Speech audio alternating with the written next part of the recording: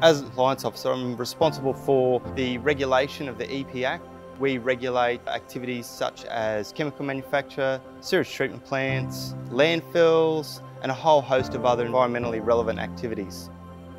I love working in central Queensland, especially our Gladstone office. Our work is so diverse. We have coal wharfs, we have gas plants, we have chemical manufacture, we have refineries, sewage treatment plants on tropical islands. The work here is just so diverse and quite complex, it really is a great place to be. Our team in Gladstone, much like any other departmental office, it's a really supportive culture. We've got some of the best scientific minds Queensland and Australia has to offer. If we come up with a difficult problem, we've got so many amazing networks in the department that we can reach out to and utilise to solve a problem. There's a certain sense of pride that you get for working for the government. It's about giving back to your community. It's about actively making a difference. Career progression and extending your skills is certainly a positive, whether that be in our Gladstone Centre or another regional centre.